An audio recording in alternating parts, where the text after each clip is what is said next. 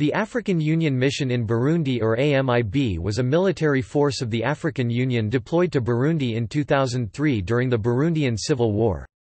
The mission, consisting of 2,870 troops from South Africa, Mozambique and Ethiopia, remained in the country for one year, when it was replaced by the United Nations United Nations Operation in Burundi ONUB. The official transfer of authority from AMIB to ONUB took place on June 1, 2004. The South African component of the force remained and was formed into the African Union Special Task Force OSTF. References